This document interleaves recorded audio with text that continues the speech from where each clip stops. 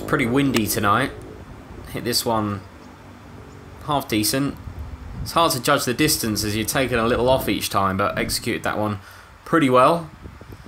Didn't execute this chip very well. Wouldn't normally chip with an 8 iron around the greens, but had a simple little putt for par, which I missed.